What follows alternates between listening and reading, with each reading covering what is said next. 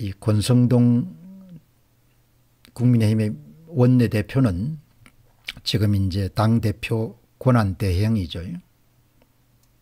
검경수사권 조정에서 크게 한번 실수를 했지 않습니까? 국회의원을 한 번도 아니고 네 번째 하지 않습니까? 국회의원을 네 번째 정도 하게 되면은 의사당 내에서 여러분들 문자 메시지 같은 걸 확인하게 되면은 예, 기자들의 많은 렌즈에 다 포착되는 것 정도는 다 알 거 아니에요. 어떻게 이렇게 띨띨지 않게 그렇게 응? 대통령의 사적 메시지가 노출되도록 그렇게 또 실수를 했냐 이야기입니다. 오늘 뭐 조선, 중앙, 동아, 연합뉴스 다 톱뉴스입니다. 예. 윤석열 내부 총질 당대표 문자 노출 이준석 징계 윤석열 윤심 논란 재점화 뭐 이런 이야기가 나오죠. 뭐 전체 신문이 다 여러분들 이 문제를 대수특별하고 있습니다. 중앙도 마찬가지입니다. 참. 예. 적나라한 이준석 비판 들켰다.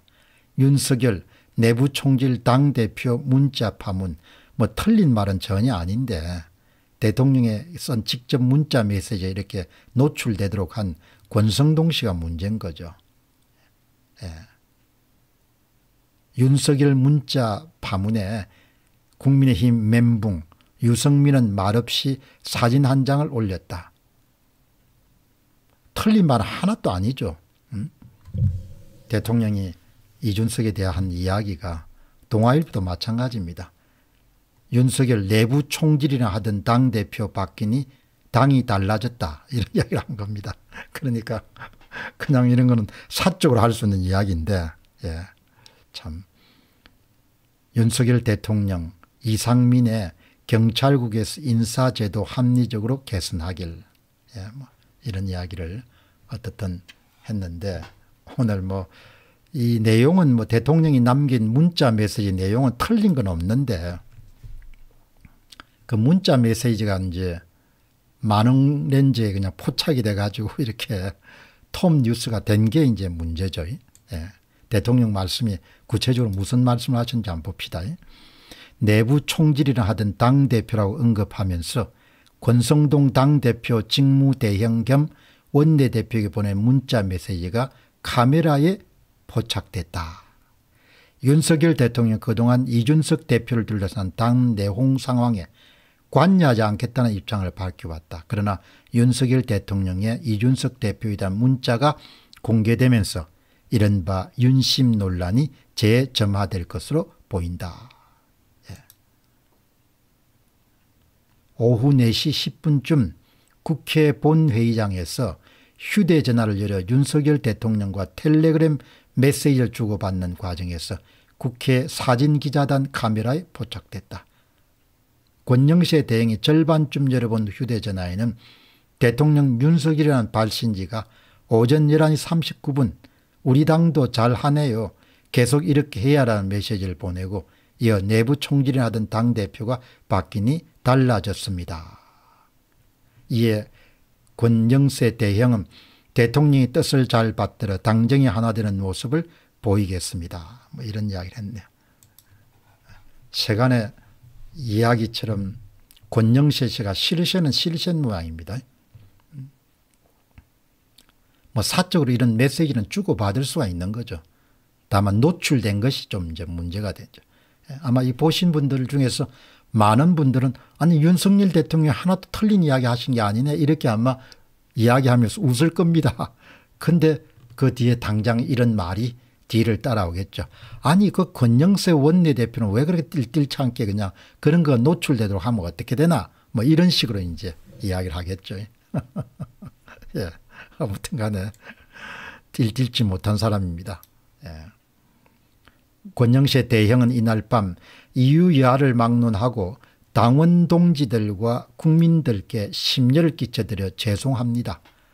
대통령께서는 당대표 직무대행까지 맡은 저를 위로하면서 고마운 마음을 전하려 일부에서 회자되는 표현을 사용하신 것으로 생각됩니다. 대통령은 오랜 대선 기간 함께 해오며 이준석 당대표에 대한 불편함을 드러낸 적이 전혀 없었습니다. 오해를 불러일으킨 것은 전적으로 저의 잘못입니다. 그러나 한 당직자는 대통령이 당대표랑의 내부 총질이라고 했는데 그게 실수겠느냐 당이 이렇게 콩가루 집안이 됐냐 뭐 이런 이야기를 하는데 뭐 저는 그렇게 생각하지 않고 그래서 몇몇 시민 말씀을 좀 들어보는 것도 좀 객관적일 것 같습니다. 제가 오해를 좀 불식시키기 위해 가지고 백자 서평 조선일보 기사에 위에 탁 여러분들 그대로 중간을 빼지 않고 했습니다. 정호은님께서 뭐 하나 틀린 말 없구먼. 그나저나 권성동은 참 여러모로 걸림돌만 되고 에이 426명이 찬성하고 36명이 반대.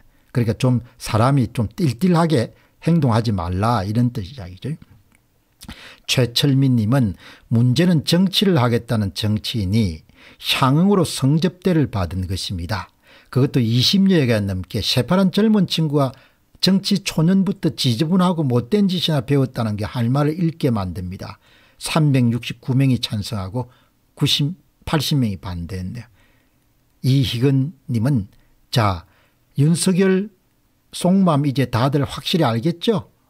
그래 이제 하태경 유승민 이준석하고 그 옆에 사람들은 입을 한번 놀려보시기 바랍니다. 뭐 이런 이야기 뭐 이런 이야기 어떻든 간에 예, 뭐 이야기를 한 겁니다.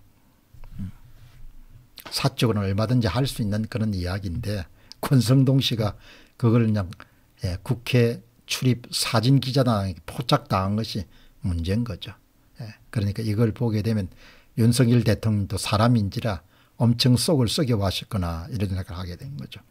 아무튼 간에 뭐 실수인지 과신인지 노출인지 뭐 정확히 의도를 우리가 알 수가 없지만 권성동의 그 처신은 왜 그렇게 야무지지 못하는가 예, 그런 생각이 들고 그 다음에 전번에 있었던 또 검경 수사권 조정에 있었을 그큰 실책 그것에 대해 가지고 아, 이 사람이 참 좀 사선 의원이나 됐는데 예, 어, 권영시가 아니고 권성동 예, 권성동입니다.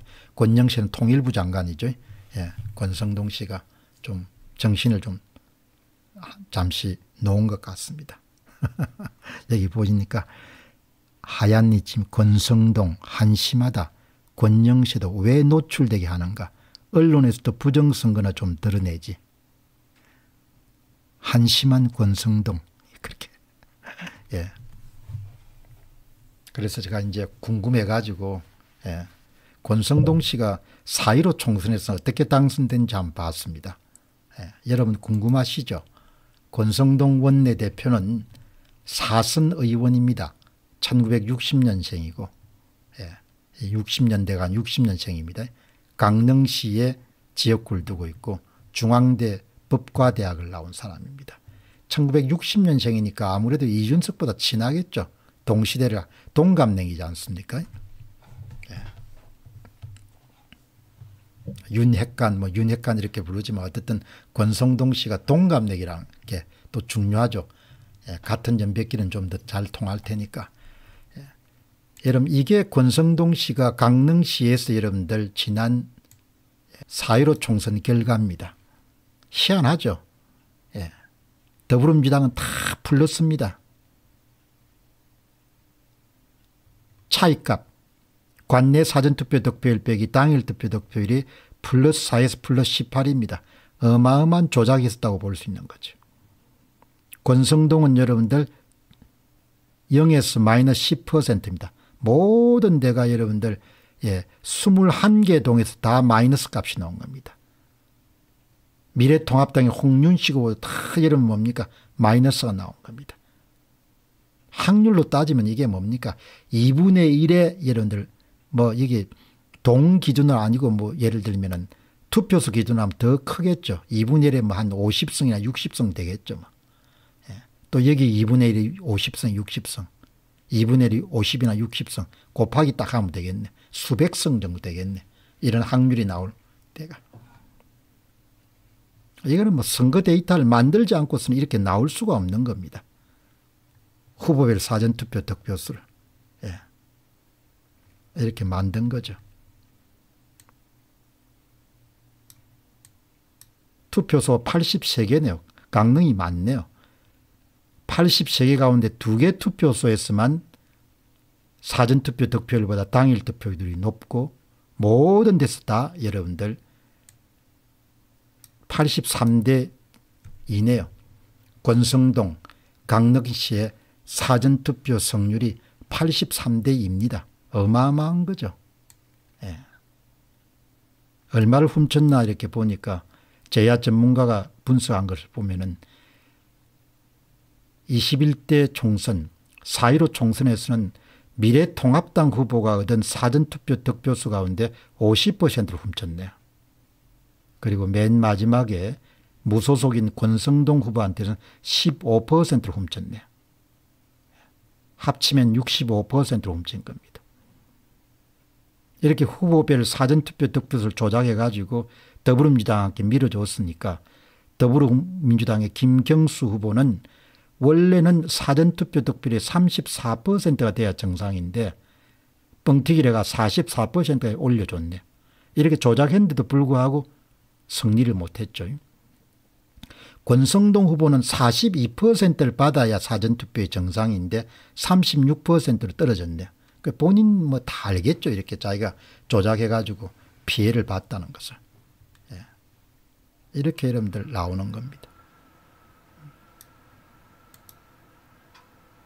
근데 여러분들이 게 3번 하단에 있는 것이 선관위 발표된 자료지 않습니까? 더불어민주당 후보는 4만 7천 표, 무소속인 권성동 후보는 4만 9천 표, 2600표 차이로 권성동 후보가 이긴 거죠. 그런데 여러분 1번이 이 사전투표 득표수가 조작이 된 거 아닙니까? 이것을 여러분들 조작되지 않는 상태로 바꾼 게 4번이죠. 음. 그 다음 당일 득표수를 합치게 되면 마지막에 진짜 총득표수가 나오는 겁니다. 진짜 총득표수는 예, 더불어민주당의 김경수 후보가 4만 7천 표를 받은 것이 아니고 4만 1천 표밖에 못 받았고 무소속의 권성동 후보가 4만 9천 표를 받은 게 아니라 5만 2천 표를 받은 거죠.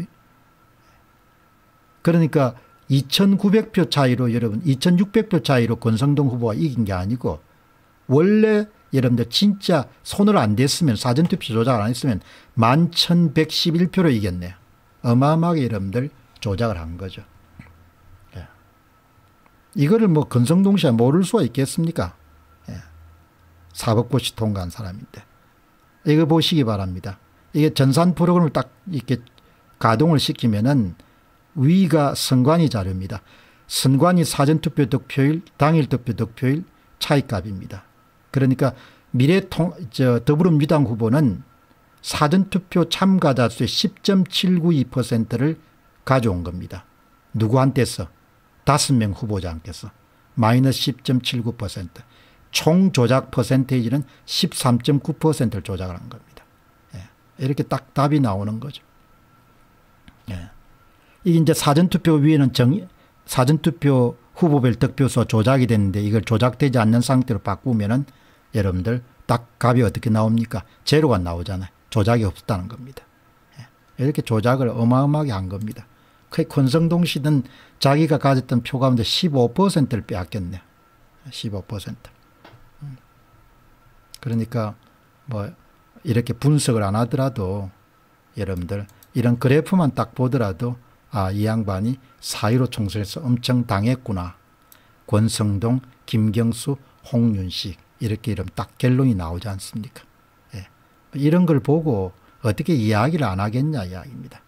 이런 걸 보고. 예. 모르면 그냥 넘어가겠지만 이런 걸 보고 참 어떻게 예? 권성동 씨가 이런 걸 당했는데 이런 걸 보고 숫자로 다 드러나지 않습니까? 예. 뭐 이게 뭐 거짓말 할 게 하나도 없잖아요.